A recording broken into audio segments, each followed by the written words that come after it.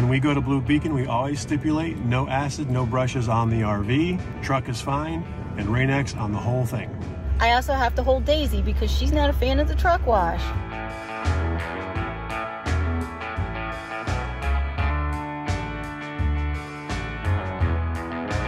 Hey, pretty ladies, want to ride? Yes, please. I got a bag of poop. I got a bag of poop.